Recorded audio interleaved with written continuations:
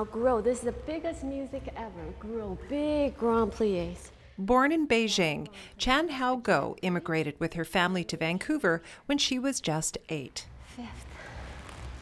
Let go. And big open, raise your chin. A bit of an overachiever in school while in China, and English a slow learn for her, she found herself needing something she could be good at at a young age. All right.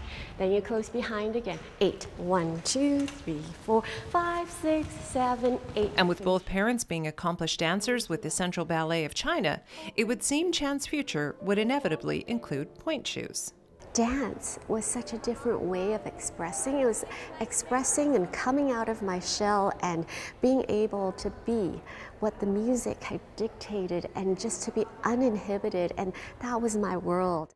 Her parents dreamed of establishing a ballet company of their own, and when only nine, Chan began her career at the Goh Ballet Company. Ten years later, she entered the National Ballet of Canada, and within six years was the principal dancer.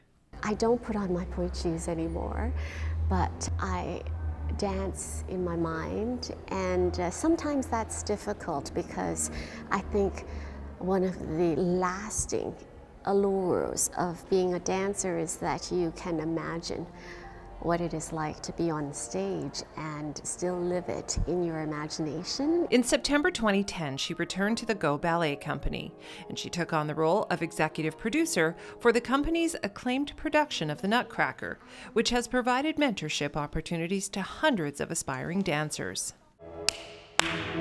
Better.